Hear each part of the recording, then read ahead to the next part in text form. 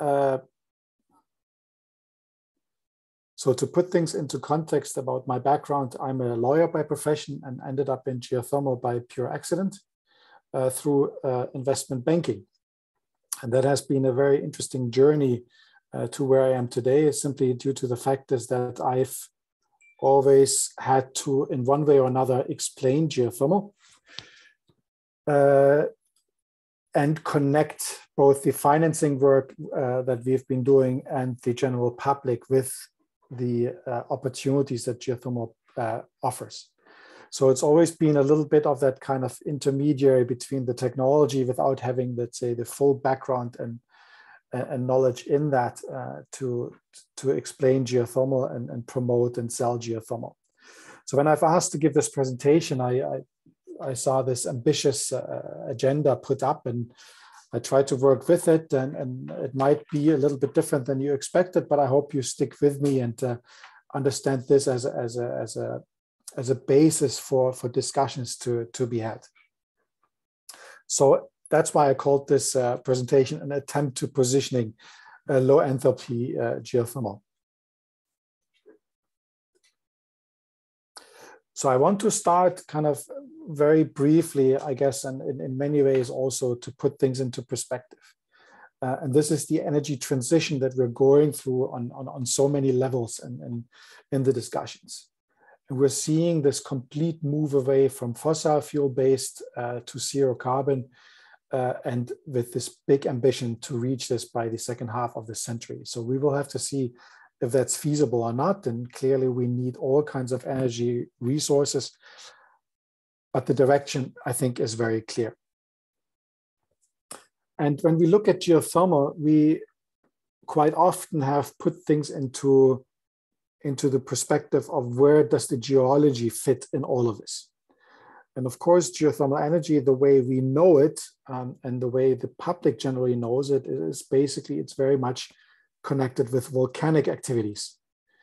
And for, for, for every one of us, it's, I think it's very clear volcanic activities happens where tectonic plates meet. Uh, and this is where in the, in the context of geothermal, the, the manifestation of this wonderful energy source is basically closest to the surface. And that's why we've seen most of the development and interest in, the, in those regions. So along the Pacific Ring of Fire, uh, but all the other tectonic uh, areas as well. This is a map that was created with data from ThinkGeoEnergy on our power plant here by uh, Julie Egbert uh, from the GFZ in Potsdam, uh, together with, with other authors. And here the idea was to kind of explore power generation technologies and how they fit geographically in the geological settings. And here, basically, that look of where are things happening in geothermal development, where is most of the development happening, both in scale and in technology. So in here, the technology gives an indication of the type of resource that is being tapped. So high temperature resources uh, for, for flash and dry steam operations, uh, and let's say lower temperature, low enthalpy resources uh, for binary. And clearly that is moving away then from this clear defined tectonic uh, uh, uh, lines.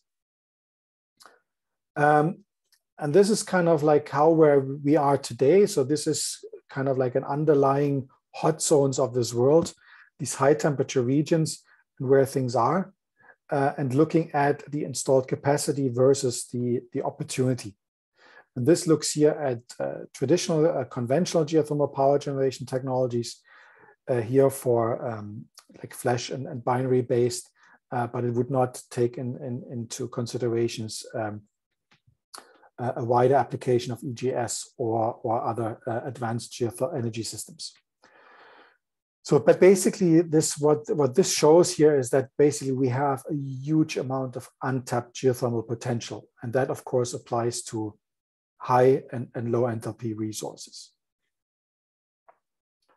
And if you look at where we can find geothermal power plants here, this is uh, research done by us. It's, it's basically all the geothermal power plants in the world uh, today, and they give a clear indication of, let's say, the tectonic settings here along the uh, uh, the tectonic uh, lines. So if you take the whole west coast of the Americas uh, going down to, to Chile, um, we see uh, the East African rift, we see the Philippines, Indonesia, and Japan, and going up into, into Russia. And we see some of the binary activities in Europe, for example, in Turkey and in, in Central Europe and of course Iceland at the at the outburst of the of the uh, American plate and the Eurasian plate here as well, and then of course the Azores uh, in the middle of the Atlantic. So this is basically where we have a lot of the geothermal uh, power plants as of today. And if you look at the uh, the current installed power generation capacity in the in, in the world, we have a total capacity of around 16,000 megawatts. And of that, we have these classic examples of the high temperature resource countries like the United States, Indonesia, the Philippines, New Zealand, uh, Mexico, Kenya, and Italy, Iceland, and Japan. I mean, these are the classic geothermal countries which we connect with volcanic activities or, in, in a sense, at least with the geological settings along these tectonic plates. But we see here one outburst, and this is Turkey, uh, and I will explain a little bit uh, on that uh, later on. Here, clearly, a country that has punched above its weight, utilizing low enthalpy resources. And if you look at current installed capacity in the world today, uh, this is uh, uh, another overview here with all the countries today. So we have currently 30 countries uh, producing uh, geothermal power. Actually, it's uh, 29 if you look at this. Um, but uh, the this is the installed capacity, and we see that we have these top 10 countries here that I that I showed earlier, and then all the other countries here, including then Latin America or Central America, uh, and then going down to the smaller countries, uh, including such as Croatia, uh, one of the newcomers, uh, um, and Taiwan, uh, but also Hungary uh, and Austria here as, as examples. But, and this is something that we are currently or, or continue to work on, is that with ongoing development and plant development in countries, the number of countries with geothermal power generation could reach actually the number 82. So from 30 or 29 countries today, we could reach that about 82 countries would produce geothermal power. And of course, the impact that could have on uh, on the visibility of geothermal uh, across the world is, you know, it could be quite quite large. Um, and if we look at the uh, the development of geothermal here, I've been trying to kind of get a clear picture of the annual additions of power generation, and we've been only able to kind of provide this from 2006 on here uh, in this context. Uh, and we see that really different stage of development and really kind of seeing lots of development in certain days and stages and then basically dropping off again seeing it burst up again and so on and so forth and this is this is of course something where we don't see the hockey stick growth that we see in other uh, renewable energy technologies such as wind and solar and of course this is a concern for geothermal particularly in the way of how we are uh, expanding, position ourselves, and being taken serious. And this is uh, another overview here uh, from 1958 on to show how geothermal has developed uh, by regions. And we see here really kind of how impactful Asia and Pacific as a market has been uh, for geothermal. Uh, and we see kind of here, and we added in some uh, some lines here for like to show an impact or a perceived impact of uh, different uh, events here. So the oil crisis in the 70s, the oil price shock in 1990, the energy crisis uh, around the financial collapse of 2003 to 2008, and of course Ukraine, uh, which might not be having an impact that much on power generation, but I will talk about this uh, later on. But it basically shows that these crises have an impact or have had an impact on geothermal, but it has been a, taken a long time to really move geothermal forward. So, for example, the oil crisis in the 70s clearly pushed geothermal to uh, uh, on the forefront in, in several countries, and that's when we've seen a lot of development being kicked off in the United States. Uh, but as soon as the oil price falls again, we see that kind of there's a drop again in activities and investment. So this is the regional overview, um, but to put things into context with regards to uh, the technologies, uh, here an overview of the different power generation technologies. Uh, and this is and this gives an indication of where in the world geothermal development has happened. So here, dry steam and flash uh, conden flash condensing uh, technologies are utilizing high temperature resources that are 180 to 200 degrees Celsius. So already really high temperatures that are needed to kind of utilize this technology for power generation. And binary technology, of course, is uh, utilizing a secondary fluid uh, for uh, the, the, the, turbine or for the, the power generation. Uh, and here basically utilize, being able to utilize temperatures that go down to 70 degrees Celsius. Uh, of course, here in this context, probably most of development has happened uh, in resources that are at least 100 100 degrees Celsius, but basically going from 100 to 160, 100 to 80 degrees Celsius. So we see an increased utilization of lower temperature, low enthalpy resources for power generation. Uh, and this is an indication also here of where this has developed. So we see this just in particular in the last seven years, seven to eight years, that there's been a complete shift. So we see that binary cycle technology is by far the largest uh, uh growth uh, for geothermal power generation. And here clearly also an indication that development in geothermal moves further and further to uh, low enthalpy resources uh, across the world, but also utilizing higher temperatures on the lower end of the spectrum. So there's a lot of happening with the technology development, with the pricing of the technology, et cetera, to the point where today, from a, from a 12% market share in 2015, the market share of the technology of installed uh, power generation capacity for binary cycle has increased to 25%. Uh, and here also, if you look at selected countries here, we see also that in the United States and Indonesia and Turkey, the there's a clear difference. Indonesia, of course, a very tectonic active uh, uh, region with volcanic activities, but also really good geothermal resource and probably the largest resources uh, in the world. Clearly here, high temperatures kind of favor technologies uh, with flash condensing turbines and dry steam.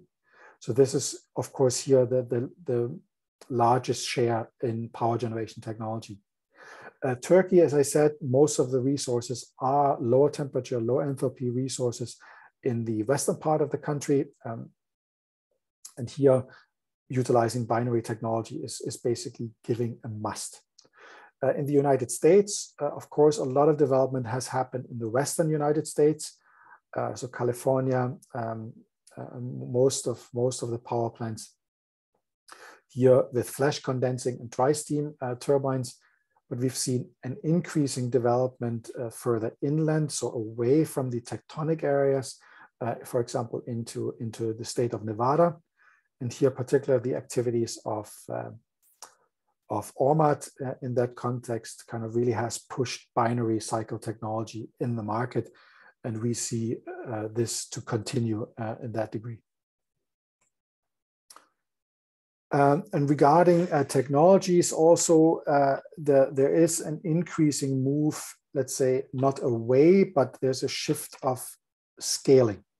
So while we've seen in the past predominantly large scale development uh, for power generation, like here with a 50 megawatt flash turbine at the Þeistareykir geothermal power plant in Iceland, uh, uh, a turbine here by Fuji Electric, uh, we see a move to smaller units.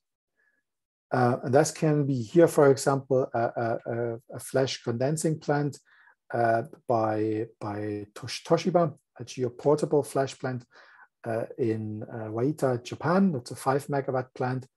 Uh, so quite a different scale of power plant. The idea here is that you, you can develop uh, geothermal power projects faster, uh, but also more fitting into the local environment uh, and to the, to the energy demand locally. But we also see a further drive, and this is, as I said, the, the drive to smaller scale units, tapping uh, low enthalpy resources. Here, a small 150 kilowatt uh, plant in, in Beppu in Japan uh, by ElectraTherm. And the, and the context here is very interesting. It is, it is essentially utilizing a low temperature resources from, from natural occurring hot springs, uh, producing power without impacting the water flow for those geothermal baths. Uh, because that is a big concern in particular in Japan is that if you were to drill for, for geothermal resources, you could essentially dry up uh, the resource for the spa industry. And of course, nobody wants that. So the idea is here to kind of go with smaller, less impactful uh, installations and utilizing uh, geothermal also for power generation, creating base, creating green electricity uh, in addition to the hot water used for, for tourism. So that is, a, that is a very, very good example of how things are evolving also in geothermal. Uh, of course, if it will bring the scale that we want to really bring geothermal forward to the degree is that's a bit of a question.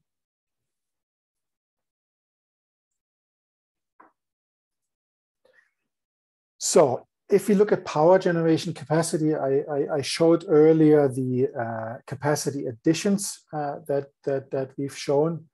Um, and we tried to do a little bit of an estimate here uh, of where things are evolving in the next uh, seven to eight years. And we believe that, that geothermal power generation development is picking up already. Um, it will pick up further. Uh, particularly in areas where geothermal makes sense, so in, in mostly in the high temperature uh, regions, but also um, but also in lower temperature uh, areas here, particularly in areas where there are no other uh, electricity or, or energy resources for, for power generation, and also where pricing is favorable for to, to actually develop geothermal. Uh, this is a conservative growth estimate. Um, we believe that with advanced geothermal technologies, uh, you know, we could see an, an expansion of the development and, a further growth. Uh, but at this point, it's very difficult to, to make assumptions. So we are giving here this, this conservative growth estimate of about 5,000 megawatts to add, which would bring us to 21,000 plus megawatt in 2030.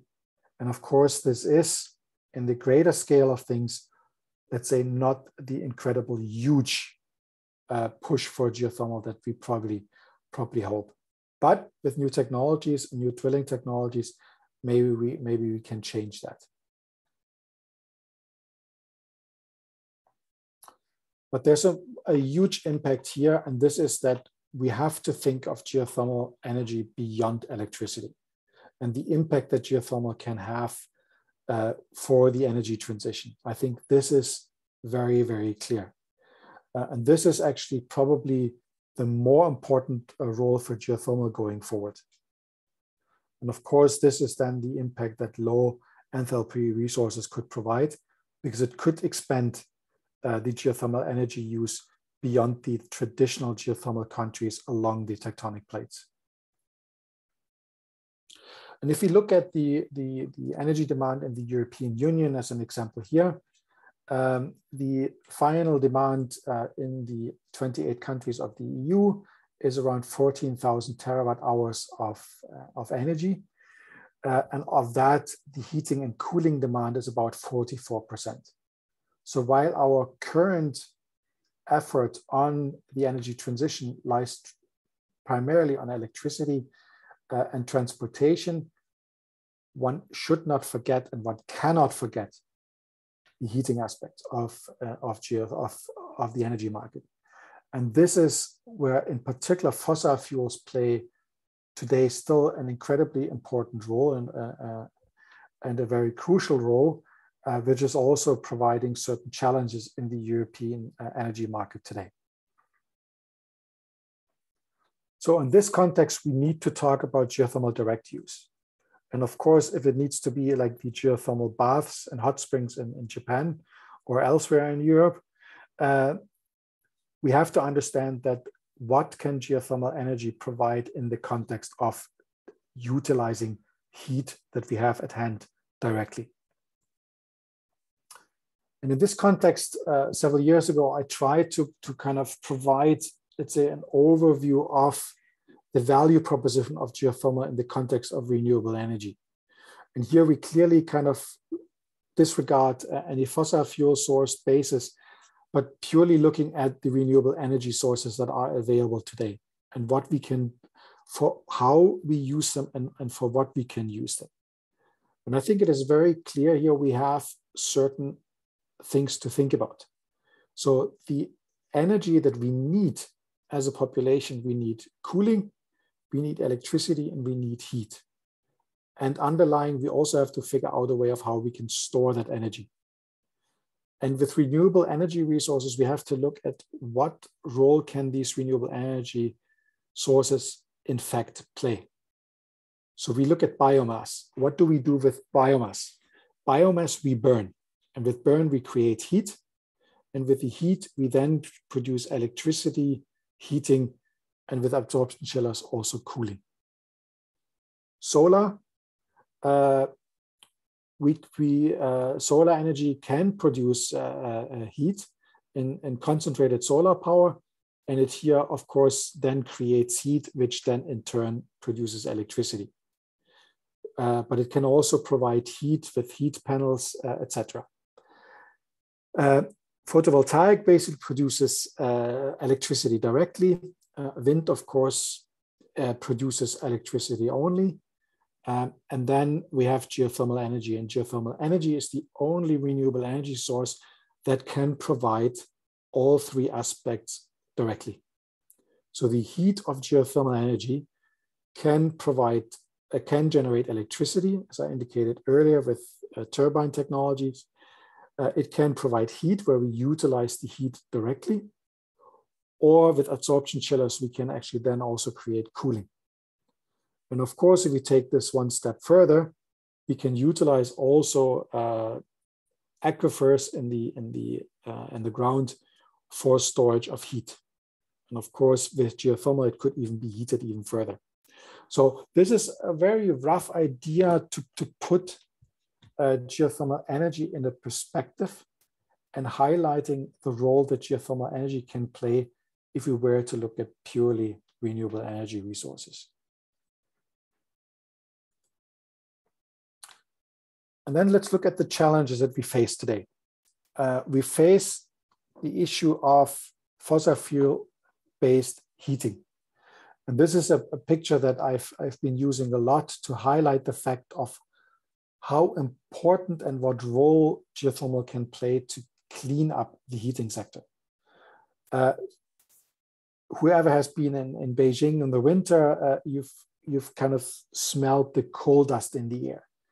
Uh, same uh, experience in Poland and other Eastern European countries. Uh, so the coal dust and the impact it has on health is, is tremendous. So that's why China, for example, really kind of created a program with smoke free cities, pushing geothermal energy as a source uh, for heating to clean up the heating sector. So this is a very important aspect is how to, to kind of move away from fossil fuels, not only for the CO2 emissions, but also by for the emissions that we generate in general. So all kind of dust uh, and smoke that you that you can feel. And of course, this has a huge impact on the health uh, of people. And then, of course, there's another aspect, and this is a very sad one, and it is about energy security. And I could have shown you now a picture of, of people uh, freezing in, in their offices in Europe with temperatures being pulled down to 19 degrees, but I think we should put this into, into relations and see what impact a war can have on a nation like Ukraine at the moment. So here, the impact it has on the in energy infrastructure in the country itself, and of course, then indirectly for the whole energy market uh, in Europe and beyond for that matter. So the impact of energy security is increasingly important uh, for us when we look at energy. And this is exactly what's happening in Europe. And that is changing also completely the picture for uh, geothermal energy in Europe. So when we look at uh, geothermal resources and, and what we can do, of course, I could show you now the high temperature resources uh, at a depth level of 3,000, 4,000, 5,000, 6,000 meters uh, with EGS opportunities to utilize high temperatures found uh, at depth, etc., uh, etc. But that would limit geothermal to certain areas in Europe that have those resources. So if we look at Italy, for example, where of course one of the, the, the birthplace of geothermal power generation in Larderello in Tuscany, here we have high temperatures being, being able to utilize for power, for power generation. We have Iceland, of course, uh, and but in the rest of Europe, the temperatures are relatively low, or we have to drill very, very deep. Examples here in Germany, for example, uh, where we have to drill very, very deep uh, in the south of the country to gather the temperatures that we need for, for economic power generation. Uh, we have the Alsace region and uh, the Upper Rhine uh, area uh, between France and Germany here, also with higher temperatures and power generation, but of course, relatively costly with regards to the depth that we need to drill to, to gather this, the temperatures that we need for power generation. But Europe has geothermal resources of lower temperature and lower enthalpy resources that are providing a tremendous energy opportunity for Europe. Uh, and here the impact uh, essentially is that what can we do with these temperatures? So these temperatures uh, of anything between 30 and, and 100 degrees Celsius are potentially enough for power generation, but probably too costly compared to other uh, energy sources, but we can utilize lower temperatures directly for heating applications. So for example, in district heating uh, networks uh, that exist for industrial use, etc., uh, etc. Et so there are a large number of opportunities of where we can utilize low temperature resources uh, of geothermal, so low enthalpy resources.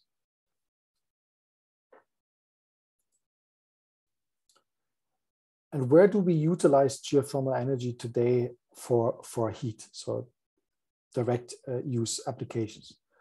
So we use them uh, for heat pumps today, which is the largest uh, utilization of, let's say, a certain temperature in the ground.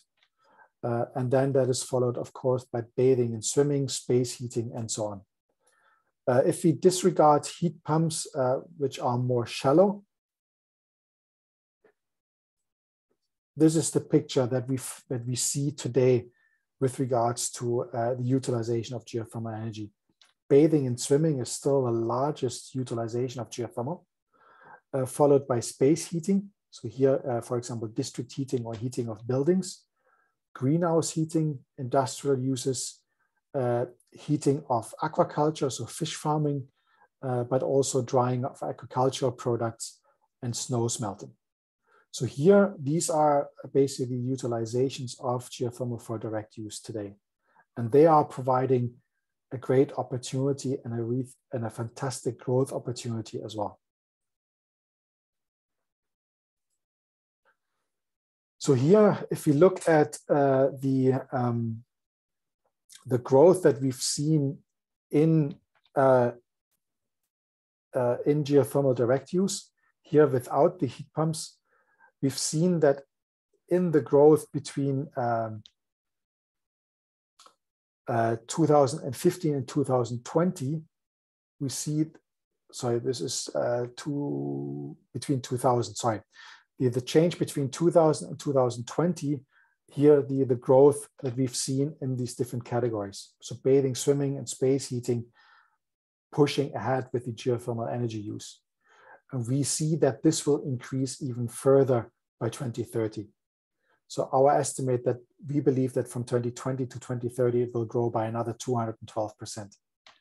And that might even just the beginning, because we're seeing increased interest in the replacement of uh, fossil fuel heating applications uh, with renewable energy sources. Uh, and if we look at uh, the top geothermal countries here uh, for direct use, uh, China is by far the leader. Uh, so China is utilizing geothermal the most in, in for heat, followed by Turkey, Japan, uh, Iceland, Hungary, and then others.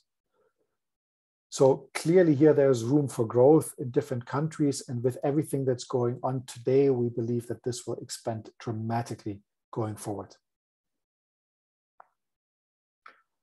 So today, Asia and Europe are the, the largest regions with regards to direct use uh, utilization. Uh, as I said, here in Asia, it's mostly, if not all, China. Uh, and in Europe, as I said, it's, it's mostly Turkey and, uh, and the rest of Europe and the rest of the countries are, are clearly behind. Uh, and of course, the heat demand uh, is different in different countries. But we see, for example, in Africa and, and other locations that uh, heating for greenhouses is, is by far also uh, something uh, that we will see in areas uh, being developed there. And that brings me to the uh, technology overview of geothermal and what are the current uh, developments in that regard.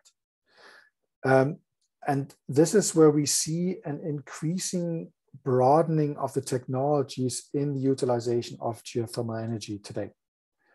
So from the traditional heat pump, shallow uh, closed loop systems uh, utilizing low temperatures in the ground of everything between 7 and, and, and 15, 20 degrees, uh, to really targeting supercritical uh, deep uh, geothermal. For example, here the, the, the, Iceland Deep Drilling Project in Iceland, uh, targeting temperatures of 300 degrees Celsius and more.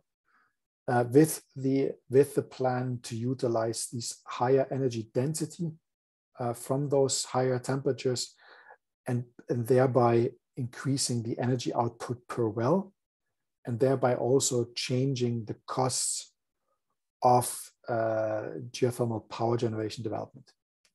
And of course, there's a whole load of, of different technologies in between. Uh, we have these, uh, these deep closed loop systems where I basically drill uh, some kind of uh, closed loop system that is trying to extract uh, the temperature in, in, in areas that don't have the, the hydrothermal resources.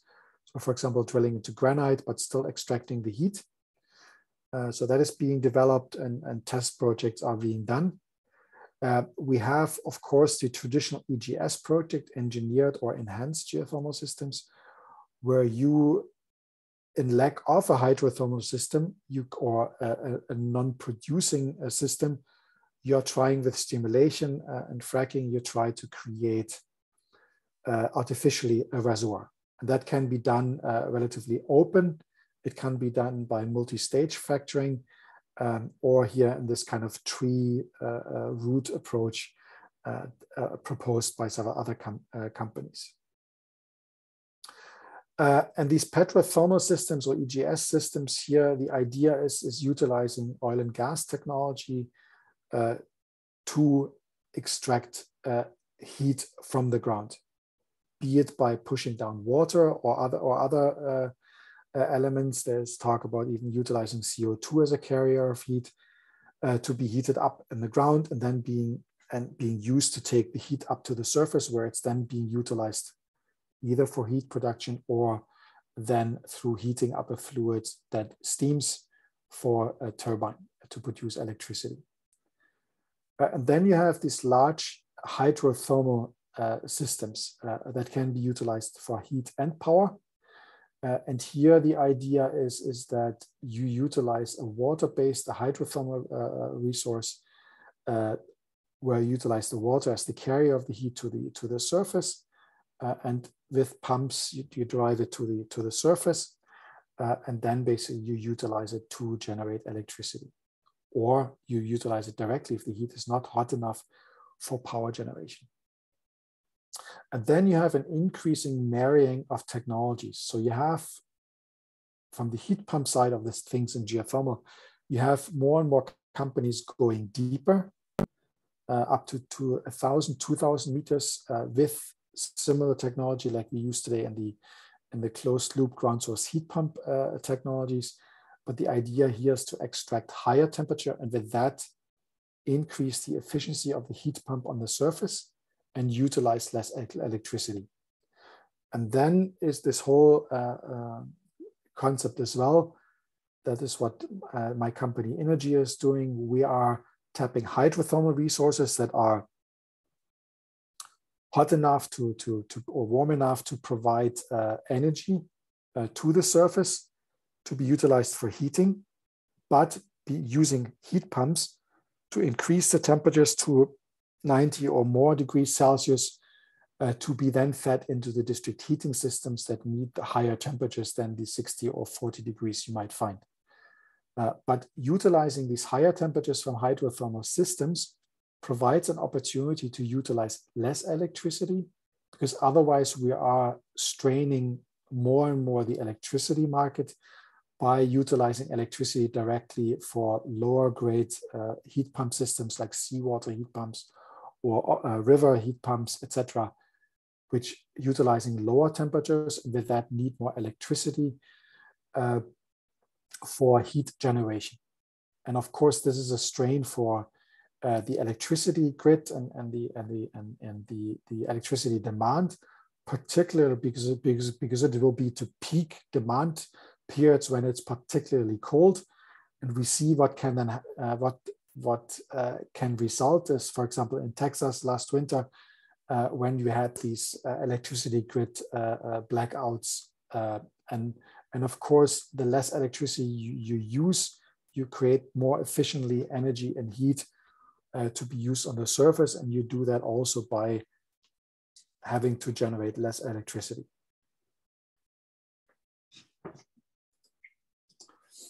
And then here is a, is a very good example of how a city is approaching geothermal energy.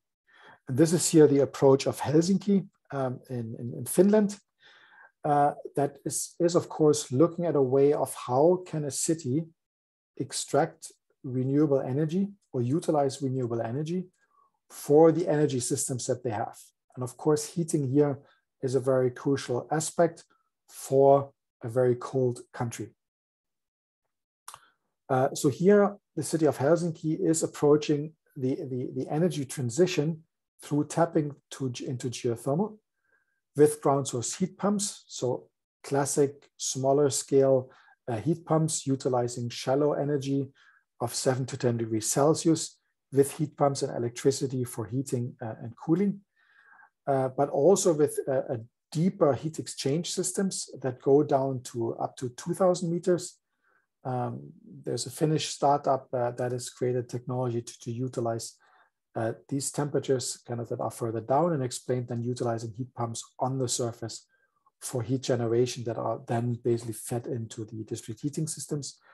And then uh, an ultra deep heat exchange system here set uh, developed uh, in, in Espoo in, in, in, close to, to Helsinki where a company drilled six to 7,000 meters into granite uh, and is trying to extract the heat there for the heating system. And furthermore, the city is also uh, planning a heat storage uh, setup and facility utilizing salt caverns uh, in the ground to store heating heat uh, over this over the summer to be utilized in the winter. So here, and this is a good example also for everyone in the oil and gas sector, we see an increasing move of the traditional purely geothermal market into a geo energy market. So marrying, let's say, uh, shallow geothermal or ground source heat pumps to deeper heat exchange systems, uh, energy storage, for example, aquifer uh, storage, uh, ultra deep heat exchange and hydrothermal resources, the petrothermal resources. So I would say that we as a sector moving more and more from a geothermal purely geothermal sector to one that is increasingly becoming a geoenergy uh, a market uh, and sector, uh, and, and thereby providing a broader utilization of the experience, know-how, and education of uh, everyone working in the oil and gas uh, and uh, extracting technologies. So that's definitely what we see is happening and, and providing great opportunities going into the future.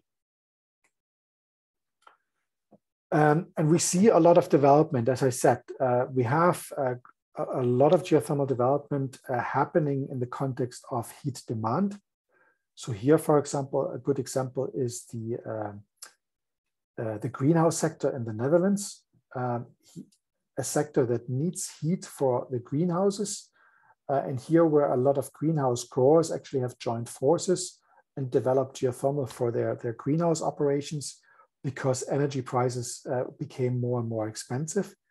And for those that have managed to successfully drill for geothermal, utilizing geothermal, they today have stable energy prices uh, instead of those that still depend on gas uh, or utilizing uh, the heat from gas-fired power plants uh, for heating because the cost has been so uh, has increased so dramatically uh, and of course, that makes uh, cost for food production more expensive. And then with that, also the, uh, the food prices for the consumer. So of course, this is a big impact that uh, that has already had. We see an increasing uh, combined utilization of geothermal for heat and power generation. Good examples here are these combined heat and power plants in Bavaria in Germany, where the plant uh, produces electricity from the higher temperature it, uh, it generates from the, from the ground. Uh, but after the power generation, the water is still warm enough to be fed into the local district heating network. And of course, this is, this is a great opportunity also for the, the developer because it, of course, provides uh, a double uh, income streams we see the utilization of, of geothermal for food dehydration. Uh, here to the left, this is uh, an example of, uh, of uh, a pilot plant uh, or production in Mexico. Um, we see an increasing uh, look at how, where does geothermal fit into the green hydrogen production. so utilizing the heat, for example, etc. So there are all kinds of aspects here. Um, and we see, of course, as I showed this picture with China before, uh, you know, cleaning up the, the, the air. And we see increasingly geothermal development in areas that we consider not traditional geothermal countries. And of course, here the, the Rotterdam uh, harbor uh, looking at utilizing geothermal for heating. Uh, we see Copenhagen uh, developing geothermal. And of course, what a lot of people don't know, uh, Paris actually has probably the largest uh, geothermal heat uh, district heating. Uh, it's just in, in separate individual uh, district heating networks. So there's a lot of things happening in the direct utilization of geothermal energy today. And with that, I want to kind of briefly touch upon a little bit uh, on, on, on our company Innargi. that is kind of like a good example of where we are moving in utilizing low enthalpy uh, geothermal. And the idea is how can we utilize geothermal today in the context of the energy transition or the heat transition in Europe? We've, we've started as a company building upon the uh, background of our colleagues in the oil and gas sector here with Maersk Oil and Maersk Drilling.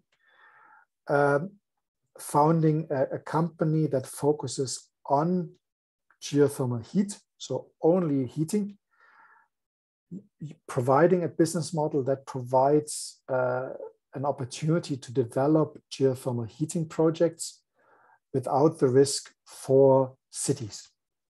And our pilot project, uh, where we got we're going to start drilling this summer, will be in Aarhus in Denmark, so Denmark's second largest city. And clearly Denmark is in the, in the, in the general context, maybe not really that considered that geothermal country, but we still find at about 1800 to 2000 meters, we find temperatures of up to up to 90 degrees Celsius. So here opportunity to, to utilize those temperatures for the local district heating. And we do that by decentralizing uh, uh, energy production or heat production by creating and drilling locally within cities uh, in different locations, uh, generating heat locally to feed it into the local network. So in this case, from, from a scale, it's up to about 110 megawatt uh, thermal uh, total, uh, with about 17 wells to be drilled within the proximity of the city.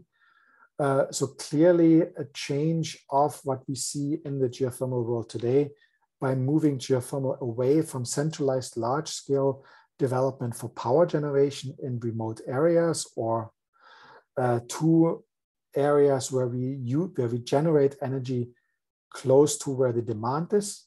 So here in this case, cities, and integrating thereby geothermal facilities uh, into the cities, providing green heat and replacing fossil-based uh, uh, heating uh, as of today. So in the case of Aarhus, this is mostly biomass uh, and producing uh, energy. And of course, the context of developing geothermal in cities provides a whole different, uh, different uh, quality. So you need to drill with close to, to the population. And of course, this is a challenge. There is, uh, there's noise from drilling, there might be some emissions. Uh, this is a nuance also with regards to construction and the, and the equipment you need to have on site, et cetera, et cetera. So of course, for people, it's a, it's, it's a challenge to, uh, to accept or to work on the acceptance of geothermal development in cities. But given the current market, uh, the price development, etc., etc., we see that a lot of uh, cities uh, and individuals and, and, households understand the value geothermal can bring and accept that there might be some uh, disturbance of their daily lives for a certain period of time if you can long-term trust on a local energy source and stable prices. So that is something that kind of really changes also uh, geothermal. And of course, in the public perception, uh, drilling geothermal uh, in cities is of course an eyesore for many to seeing a, a, a large uh, scale drilling rig within the city, but it's also an opportunity to bring geothermal closer to the people and educate people about the opportunities that geothermal provides. So it is a it is a bit of a blessing and uh, a challenge, but we need to bring geothermal to the people because we need, and that, that's the advantage of geothermal. It is a resource that is local and we need to generate it where it's needed. And our idea is to, to then, uh, with these, these, uh, with these uh, local uh, drillings, to integrate then the uh, heating plants within the city so that they are not uh, appearing as industrial or too industrial to not fit into the urban settings. So that is changing completely how you implement geothermal into urban areas.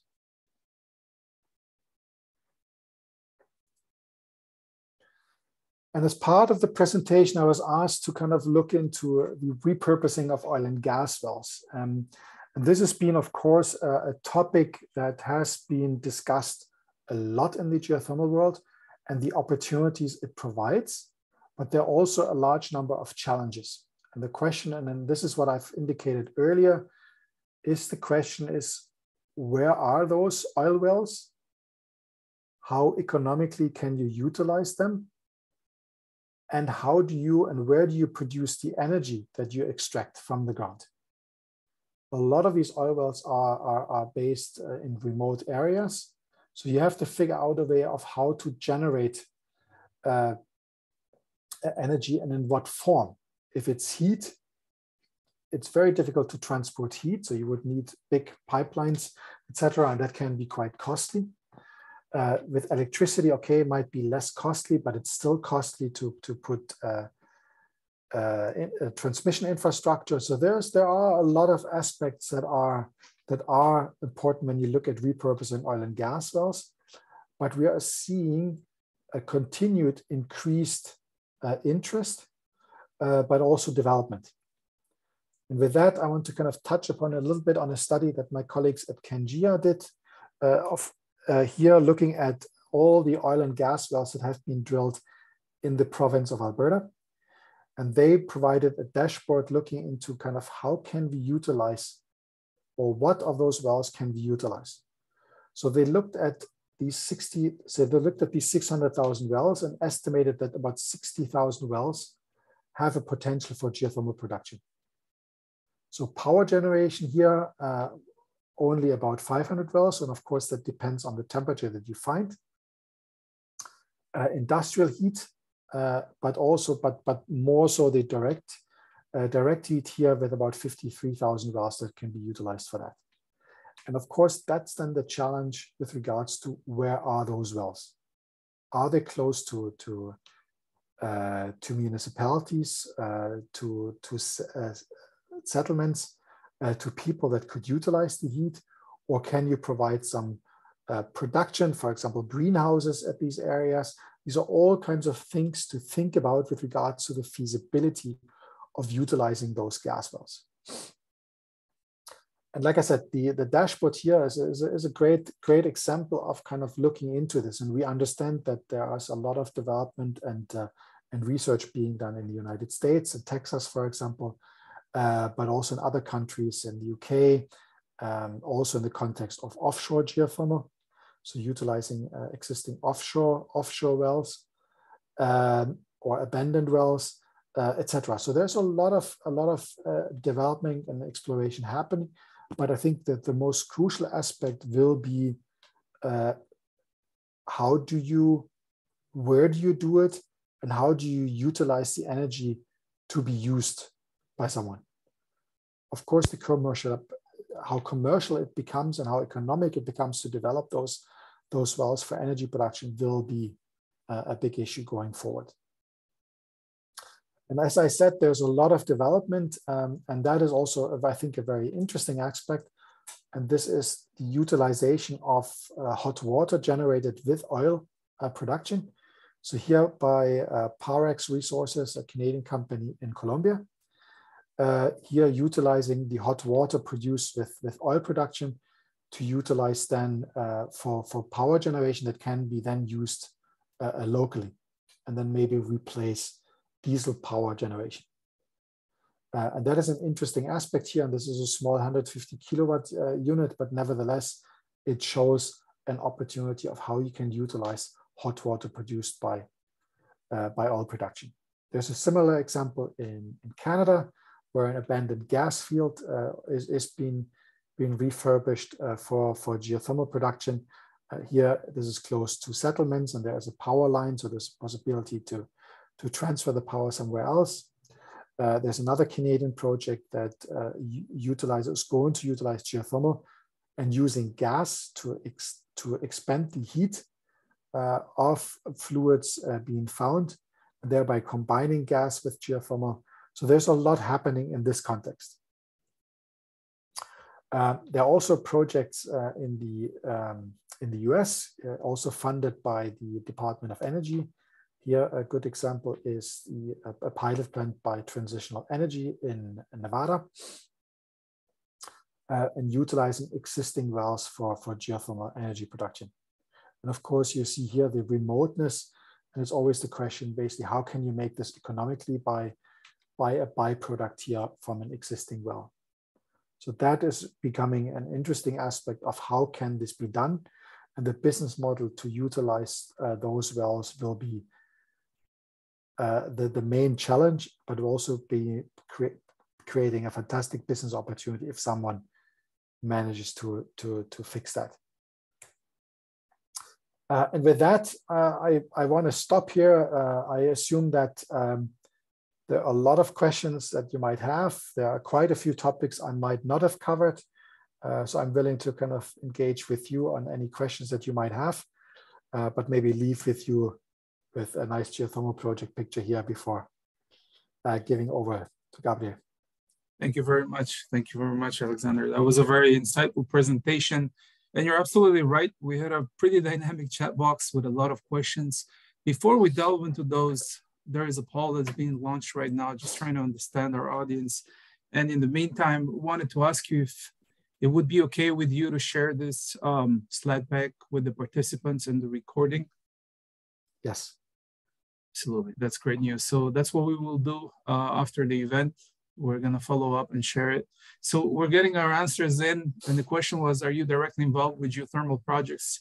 And the idea behind this is just try to understand what is the the attendance of, uh, of our participants today. So if we end the poll and share the results, what you're seeing is that 48% of the audience is directly involved with geothermal projects. 14% is a no, and there's 38% that's a no, but they would like to. So um, I think this as being one of the first talks that we're doing and trying to push for this effort, hopefully we'll get that number to rise. Uh, if you're okay with it, I'm gonna go to the questions. There's been quite a bit, and I'll start off with the first question. And that comes from, uh, I apologize in advance if I don't pronounce the names correctly, from Malika. And it says, just a second, because there's been a bunch here. Okay, actually, the first one here I see is from Rajneesh and says, please share the parameters like temperature, pressure, steam flow rates of the 150 kilowatt Beppu project in Japan. Also a little bit on the economics of geothermal plants like drilling costs, plant cost, transmission. And that's, that's a lot of questions in one, but hopefully you can, you can comment that. Yeah, no, absolutely. Uh, so let me, let me uh, expand a little bit here the discussion on, on the economics. So the challenge, of course, is, is always the levelized cost of energy production uh, and, and, generation. So, so for us, how to make uh, geothermal competitive is, is, a, is, a, is a big question. So the question has always been, how can we compare with other technologies to be taken serious? And one of the, the key aspects that has been raised again and again is about kind of what are the general cost for geothermal? And this is, of course, the challenge is it's not so easy to answer because it depends of where you are in the world, how expensive the drilling rig is, how expensive are the crews to drill, uh, how expensive it is to ship the technology, and essentially also, and I mean you all understand the difference of 500 or 1,000 meters, 1,000 meters to drill, uh, you know, is a, is a huge difference with regards to the capital expenditure for a project to start off but of course, and this is something that, that you have to talk about in the economics of geothermal, is you have potentially a project that produces energy for 30 plus years. So yes, the, the capital expenditure to start with is quite high and so on uh, is, is, is quite an issue. So, and with that setting the tone for the question with regards to, to Beppu, a 150 kilowatt unit. Of course, here the question really is, is kind of, is there an existing well or did you have to drill the well? Uh, do you have uh, the water on the surface and utilize that, uh, etc. So this, of course, depends all quite a bit of how you how you explore this. Uh, I, I'm not able to provide details on this Beppu plant uh, uh, as an example, but I know that and there are several papers out there on this um, on this technology. So I strongly recommend that you utilize uh, the existing uh, paper databases that you can access. Uh, and I here recommend the, the database of the International Geothermal Association, for example, a very useful uh, database uh, for some of the World Geothermal Congress papers uh, that provide some of those details for these plants, such as flow rates, etc. Um, the, uh, there's another platform, the Geothermal Library by, the, uh, by Geothermal Rising in the United States that also has a ton of papers uh, available. Uh, a lot of them also talking about the economics. Uh, so with that, uh, maybe putting things into, into context with regards to the economics of plants. So the challenge, as I said, of course, is the, is the, the how do you define the cost? Um, depending on where you are, the cost of a, of a plant can be that up to 60% uh, or up to 40% of the uh, of a geothermal project can be the cost for the drilling. Uh, so it is a, a, large chunk that you have to come up with before you actually know that you have a resource that is economic to be utilized. Uh, that is, of course, a risk element that is that is quite quite challenging. Um, but the drilling cost is still one of the largest aspects, and I think still the largest hurdle, because as soon as you've proven the resource to get the financing then for the actual power plant, so the turbine, uh, the equipment, etc., is then relatively easy in comparison. Uh, and then the turbine itself and, and this, this the whole structure is around 60% of the of the of the project cost. Um, so that's uh, that's roughly uh, the element. Uh, and with regards to transmission, I mean, if you are 10 kilometers away from, from the grid, or if you're 50 or 60 kilometers away from the grid, of course, a, has a huge impact on the economics of a project. Uh, and a good example is, uh, for example, if you take the uh, the project of Cerro Pabellón in Chile, uh, high up in the Andes in the mountains uh, of Chile, with a transmission line of about 60 kilometers. it is a huge costly expense to kind of transfer that electricity through a transmission network. But of course, the further you're able to expand the project and utilize the same transmission line, the more economic it becomes. So with that, I'll leave that to that question, but that's unfortunately as far as I can go. Thank you very much. I think you've actually answered the three or four out of the questions in the chat box with that answer, so appreciate it. Um, there is another one from Daniel Merino that says, reflecting on the delay in the chart with capacity additions versus time, it was one of the slides that you showed and the events, you know, the oil crisis, Ukraine, etc. I wanted to know if in Alex's opinion and data, the time to put the capacity in place is improving or we will still see seven to 10 years from kickoff to first what? Um, I think I have to kind of like refer to uh, a lot of the discussions that, that are being being being being done in, in the in, in Europe and in the United States. Uh, and I think a lot of the red tape with regards to development and why it takes such a long time is the permitting process and the time it takes to, to secure funding. Uh, so that's that's been one of the big hurdles for geothermal and why it has taken so long, or why it normally takes so long to develop these projects. As soon as companies have been able to drill, the de actually development time is actually relatively short.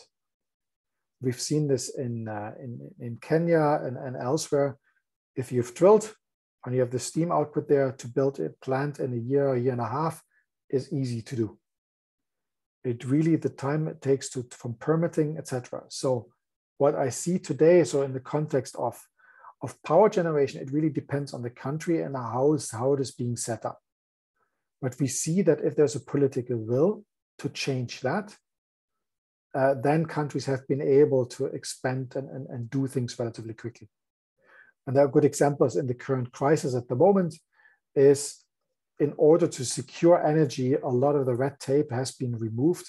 For example, with liquid, liquefied uh, natural gas uh, platforms, etc. So with that, basically, at, at, a time that has taken normally is five to seven years, has been shut down to less than a year. And I think similar things need to be done in geothermal. And there is political will to do that in specific countries. And we see this in particular for heating in Europe today. So things are speeding up.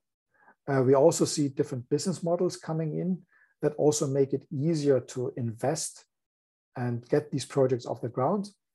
Uh, and I guess that is part also of our business model is by bundling projects uh, in these portfolios and thereby speeding up and industrializing the way we take geothermal forward. And that, of course, is also a, a way to kind of speed up development. Thank you. So where there is will, there will be action. Um, that's that's good to know. And I think a lot of the participants that are in this call, you know, with the engagement, whether you are in the geothermal world or not, we're in the oil and gas.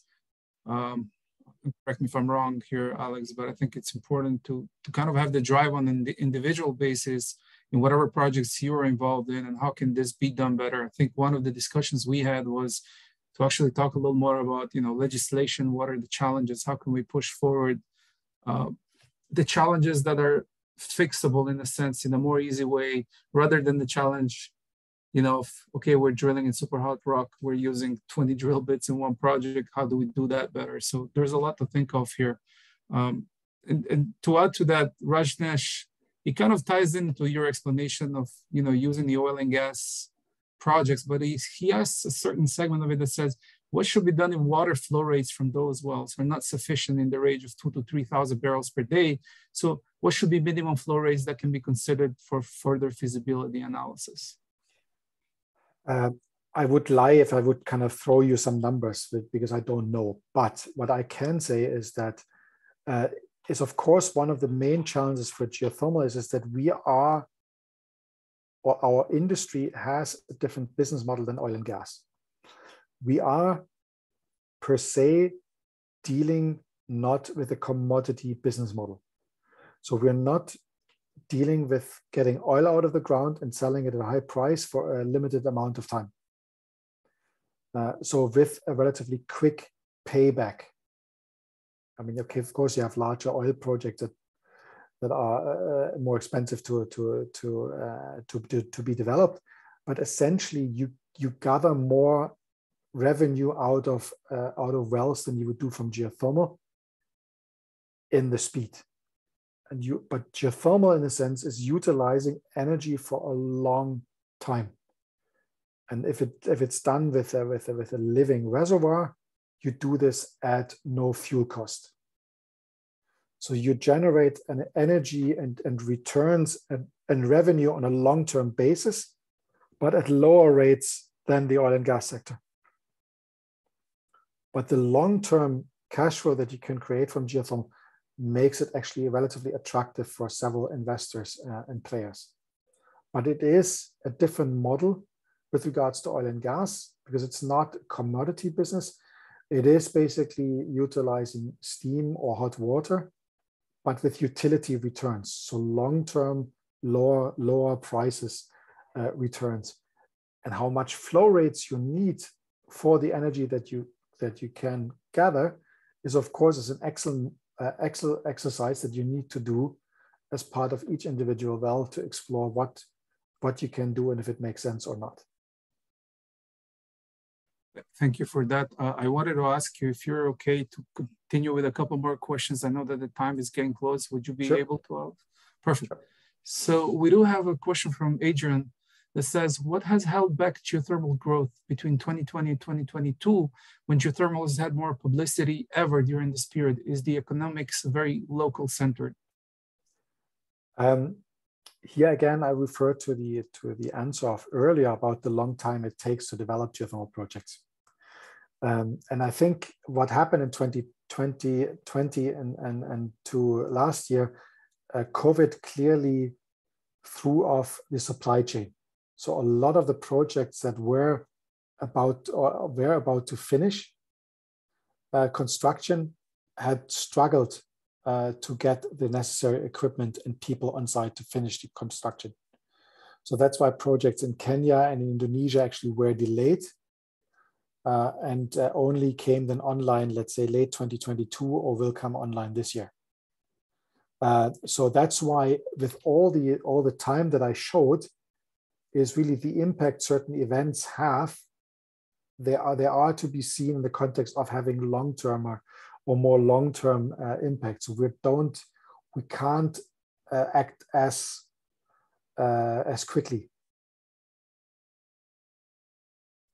So it's a time sensitive uh, matter. And then the complexities were quite a lot in, the, in that two year period, which, which I think ties a little bit also to what Marcus was saying in a sense. It says, why are the estimates of growth in geothermal heat usage for greenhouse applications so conservative? Good. That's a very good. That's a very good point. That's a very good point and observation. But uh, but of course, the scale of space heating uh, in that context uh, is is is tremendous, and how much actually we as a as a as a as a population or, or world will move to greenhouse operations is something that I can't uh, I can't estimate, uh, and it will be definitely interesting to see. And uh, and and if if Marcus could share if he has some idea about let's say the the current heat demand for the for the greenhouse sector, I would definitely like to to revisit this and explore how we can how we can recalculate uh, this for the for the estimates. And we've been working together a little bit with, with uh, greenhouse uh, groups in, uh, in the Netherlands to, to understand uh, these estimates. Uh, but in the overall scale and the heat demand of populations for house heating, that's still going to be much, much larger share than greenhouses will be, at least for the, for the time being. So that's why I probably would stand with the estimates as it stands today. And that brings me to, to another question. So if, if some of the attendees in here have some more direct questions they can, you know, direct to you, would it be okay to just get a hold of you through LinkedIn or that's all good? Yep. I'm sure, okay, perfect. There, there's, there's an interesting question here on the Aarhus project that says, do you receive local subsidies and is there a, a NIMBY resistance when drilling and IMBY? Um, so um, essentially, uh, the business model that we are doing uh, as part of Innargi is that we are developing geothermal projects without any subsidies. So we're, we're, financing this, we're financing this ourselves, and we're developing this uh, and are not dependent on local subsidies. If there happen to be local subsidies, it would impact the price that the customer will get. Uh, the not in my backyard uh, resistance um, we are starting the process of stakeholder engagement, uh, and and so far it's it's quite positive. Uh, but of course, you need to deal with uh, with with people that, that whose life you impact with the activities for for a period of time. So you need to make the effort of explaining what you're doing. You need you need to take uh, concerns seriously, uh, but also highlight the positives that geothermal provides and these projects provide. Uh, and in that sense, we are quite confident that we, we, we have the local support. Uh, the local municipalities or the city and, uh, and stakeholders are very, very positive on the project. Uh, so uh, it is about keeping people informed uh, and engaged. This is why stakeholder engagement is so crucial for any geothermal project, particularly if you take it more and more closer to the local population. Absolutely.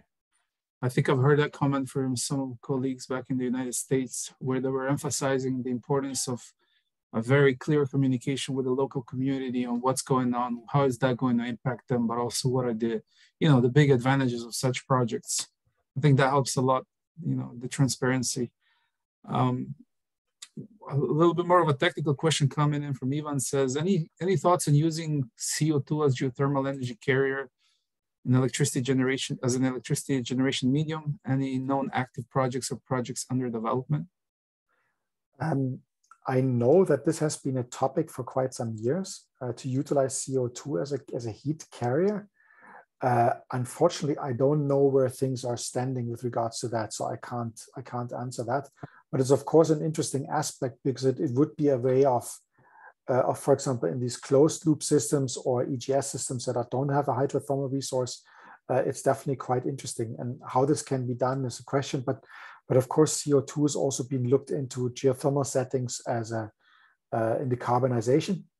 Uh, so, for example, with the Carbfix project here in Iceland. So, but how this where this stands technical with regards to heat uh, extraction, I don't know. I think I see here there were a couple of responses on Greenfire Energy and Sage Geosystems that are utilizing CO2 turbines. So uh, I think the audience can also access those. Yeah. Um, like I said, I mean, they all have, I mean, some of them are more secretive about what they're doing than others.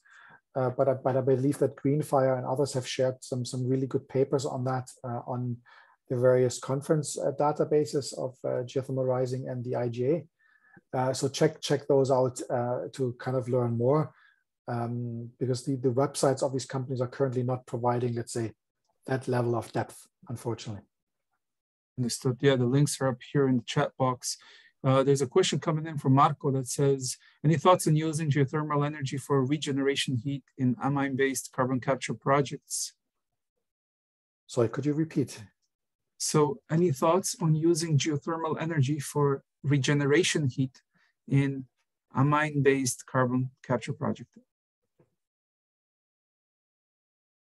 think I read that correctly. Yeah, I'm not quite sure I understand completely, but uh, to, to, to split this. So the mine projects uh, that, that he probably refers to uh, are basically the, the, the, the idea of utilizing old coal mines for, for extracting the heat there or utilizing those as heat storage. Uh, and of course, this is an aspect that could be quite interesting, extracting heat basically as that as it exists below the surface in these old mines.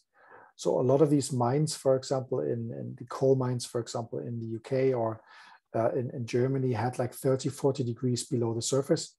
And the question is, how can you extract that heat that is that you can find at that levels?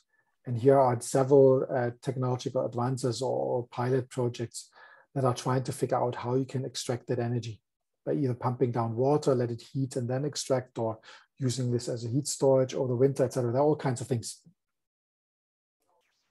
Okay, got it. I hope we, we, we managed to answer that. If not, I'm sure they'll get a hold of you. Um, still have a couple of more. One that comes from and says, what is the expected lifetime of the energy wells um, before a thermal breakthrough occurs? Uh, I mean, of course, you're, you're, drilling wells that you expect to, to run at least for 30, 40 years or even longer. Um, you might have to refurbish some wells or, or, or re-drill wells. Uh, but in general, uh, you always drill these wells and hope that that or you plan them to be around for a long time. Uh, like I said, it really depends on where you drill, how the how the uh, how the resource is, and and know, how how much uh, salinity is in the uh, in the fluids, etc., etc. So all of that depends a little bit, of course. but overall, you plan for 20, 30 years plus. I mean, that's that's that's a given. Understood. Uh, we have some regards here from our friends from Croatia that are currently drilling a deep geothermal well at 4,500 meters. we cross our fingers. Good luck. good luck with that. Uh, there's another question that says, how good is the industry at dynamic modeling of heat flow and predicting the performance of the resource over time? Any idea what percentages of plants underperform or overperform versus expectations? Wow, um, very, very good question. Um, I have to pass. I don't know exactly kind of with regards to modeling software how this is. I mean, we have, I have of course some some friends in the industry that work with fantastic 3D modelings. Uh, one of them is a fantastic and, and long-term supporter of uh, think Genergy Seequent. Here on the reservoir modeling, for example, how much they do heat modeling, I don't know. Uh, but of course, you have several uh, companies and, and, and activities, and I think modeling heat resource development over the years is something that will become very important, particularly if we expand the geothermal utilization in low temperature resources, where let's say five to 10 degree change make a huge difference compared to, let's say, higher temperature resources of 180, 200 degrees and more. So for, of course, that, that, that will make this modeling even more important. Understood. Thank you. I, I, have a question that just popped up in my head and just wondering what is your opinion on it? You know, earlier you talked about the oil and gas industry per se, some of the projects. I mean, I'm sure a lot of the people, the entities have been involved in projects where, you know, they see wells at 130 degrees C producing water. And the question is, can we make that happen? But what is your opinion? Do you think that there is enough discourse, enough communication um, between, let's say, the oil and gas community with the geothermal community? Do you think that enough efforts are being put in that from both sides? Do you think we can do better? I'm just wondering what is your perspective on it? I mean, there, there are so many things. I mean, part of my passion for geothermal has translated in me trying to support the industry in, in a sense of how we present ourselves, how we promote ourselves, how we engage, how we how we sell things. And I think it is very important that we that we present geothermal as an opportunity. Uh, and engaging industry, researchers, technologies, uh, and not understand ourselves in silos. So this is the oil and gas industry, this is geothermal, this is something else. That working together will become so important. And I see this now with my colleagues at Innargi uh, that have this oil and gas background, and for them to how they it took them it took time uh, to, to see them having evolved from their from the pure oil and gas background towards geothermal together with geothermal experts and and and marrying these these these this know-how and this experience is an interesting uh, experience. And i think it's it's quite crucial. And the same applies to let's say the less geoscience based kind of know-how of the oil and gas sector. Know, be it lobbying, be it marketing, uh, the way we present uh, ourselves, the way we we spend money on marketing, etc. All of these aspects are as crucial. And I think this is where we need this holistic view of us as an industry. So far in geothermal, we've been looking at, at geothermal very much as a geoscience problem only. And we've only talked about risks, challenges, and uh, and yeah, and of course we have these opportunities. No, we need to put the the opportunities and what geothermal can offer first and front, first and center, and then say, of course, there are challenges, but we can overcome them with this and this and this and this. And we're making efforts as part of industry to do that. And part of that is collaboration with people across the board. And this is where, where I think, and that's what I tried to draw up earlier as part of the presentation as well, is that seeing the ground source heat pump industry and this technology of, of the district heating systems, the heat pumps, which is of course a surface issue, uh, the pumps, the ESPs, uh, the the turbine technology, all these things, which and the and the aquifer storage, it becomes more and more one industry that in a, in a summary will create a comp comprehensive value proposition for geothermal, I believe and for geoenergy as such, because, because aquifers are not energy production per se, but they could provide a, an, an, incredibly value-based uh, uh, opportunity to utilize geoscience uh, and know-how. Thank you. Thank you for that. I think uh, you know collaboration is, is, is key and i can speak from some of the personal experience speaking to professionals in the industry there's been a lot of curriculum changes in some of the colleges that run, you know, petroleum engineering disciplines, a lot of uh, classes that have been added in terms of, you know, heat heat transfer classes that are highly focused, uh, classes that focus on, on, like you said, geoenergy. I think there are some efforts that are being made. And one of the things that, you know, it's there's not really such a thing as an oil engineer or a gas engineer. I would say you can specialize in it, but the skills that are being that are being you know harnessed are really applicable and, and as such we should be working a lot more together i think it really resonates very strongly with us what you just said and hopefully this effort will start initiating even more events that already are in place with other sections of SPE and beyond. So hopefully we'll do a lot more than that. I think we're getting here to a close, Alex. I uh, I would like to thank you for your time uh, and devotion to this. We've received great feedback in the chat box what we will do is, um, if you're kind enough to send us the slide back, we will send that and the recording to our participants. Yeah, no, please, please, please do so. And uh, I mean, what I would like to emphasize a little bit as well is that we, so if you haven't signed up to our newsletter at ThinkGeoEnergy, please, please do so. There's a big sign up button at the at the on the menu. Uh, you can support us as well of sharing our our news pieces on on, on LinkedIn, uh, etc. And uh, we're also expanding our research activities, uh, uh, and part of that, of course, I presented today. Um, so there's a lot of work that has gone into this. So if it's if it's of use, we're quite quite uh, glad. Um, uh, but we're trying to kind of also be a more broader, uh, let's say, platform for geothermal and the the energy transition with geothermal energy. So so utilize the website engage uh, and uh, and discuss. we also have a LinkedIn group, so just kind of make sure to to engage and share and and also news and, and and we of course all appreciate the the broader promotion of geothermal and what it has to offer. Absolutely. I'm sure that everybody's going to go on LinkedIn, ThinkGeoEnergy, look it up. Um, I'd like to apologize to those that didn't get some of their questions answered. Some of them got really, really into technical details and equations, and I thought maybe that could be something to directly maybe ask Alex when the time comes. We're already over the time. I'd like to thank you once again, Alex. Thanks to all the attendees, and uh, we will be we will be back with newer things to come soon yeah, in geothermal. Thank you so much thank for having me. Thank you. Thank you. Thank you so much. Yeah, thanks, Alexander. Terrific stuff. Oh, glad to hear. Thank you. Bye bye. See you. Thank you. Thank you. Bye. All right, Gabby.